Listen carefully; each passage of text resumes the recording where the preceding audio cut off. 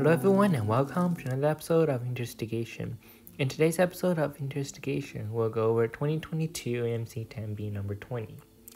So in this problem, it states that ABCD be a rhombus with angle ADC equals 46 degrees. Let E be the midpoint of um, CD. So let's just try to draw the diagram real quick. A rhombus. So I'll draw it like this, uh, such that these two sides are the same. ABCD, um, ADC is an acute angle, so I'll label it like this, ABCD. So this angle is 46 degrees, and it says let E be a midpoint of CD. So this is E. Um, let F be the point on BE such that AF is perpendicular to BE. So BE, and we want to draw AF such that AF is perpendicular to B and we want to find the angle measure of BFC which is this angle that I marked over here, this angle. Okay, so we want to find this angle over here.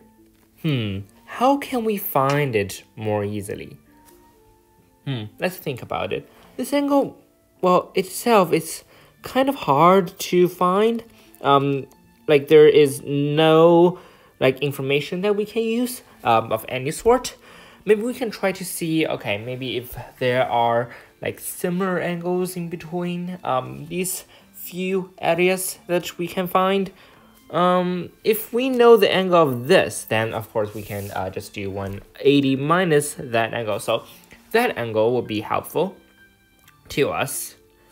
Hmm, if we have that angle, th then we have to have something on the line of BE that has something to do with this 46 degrees.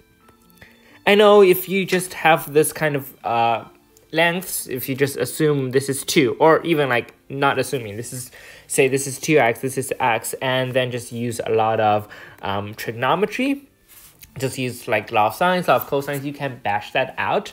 But since AMC 10 itself really doesn't require trigonometry for you to solve every problem, I won't present that solution here. But um, if you're curious, you um, need, can try that um, in the comment section below and tell me if you succeeded. And if you have any questions, please leave them down in the comment section below as well. So I'll present a solution that does not use trigonometry.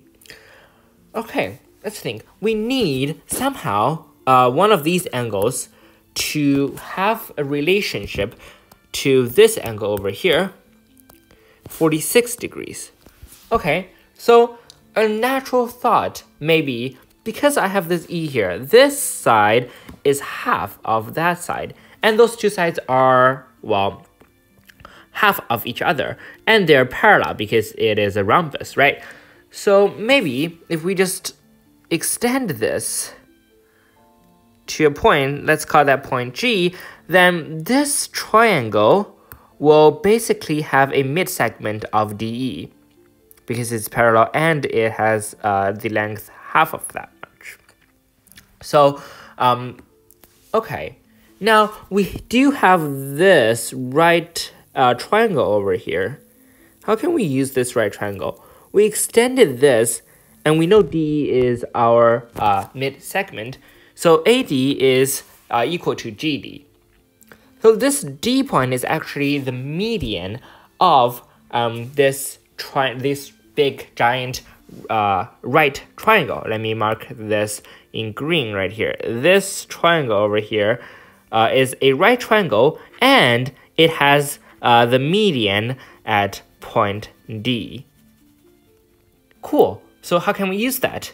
If it has a median at point D, then, well, yeah, this, this side is also equal to all of uh, both of these two sides.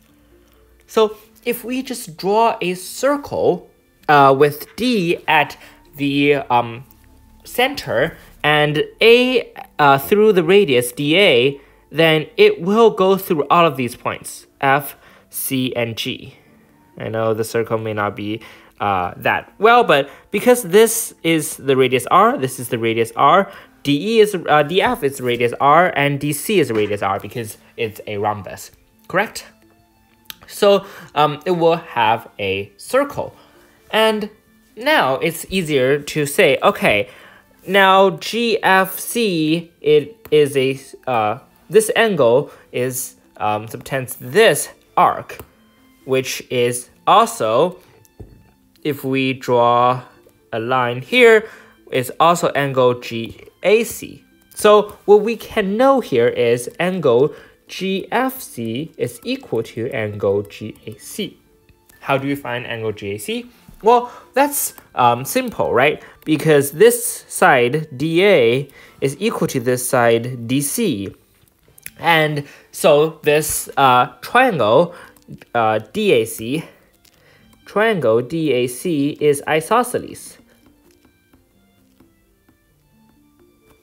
Right? So triangle DAC is isosceles, which means that uh, what we have over here is we just say 180 degrees minus that 46 degrees and then divide by 2. 180 degrees minus 46 degrees divided by 2.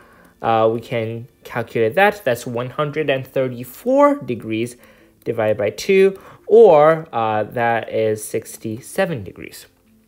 So if that is 67 degrees, then we know that angle GFC is also equal to 67 degrees because that's equal to angle GAC.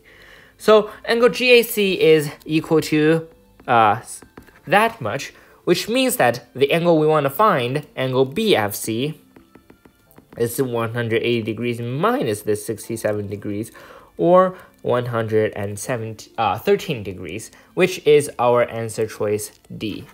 And that will conclude this problem.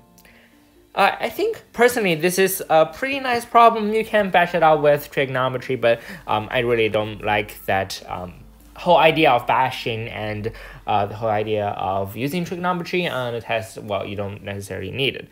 But if um, you do know trigonometry, some of the problems, especially the geomet uh, geometry problems, will be a lot easier. So um, if you have free time, just might as well learn that. Um, might be better than if you, you just keep doing the uh, problems from previous years of AMCs. Um, just a quick advice. But if you don't have any questions, then I hope to see you in the next video. If you do, please put them in the comment section below. And if you made it to this point of the video, I'd like you to subscribe to catch future videos. And I'll see you in the next one. Goodbye.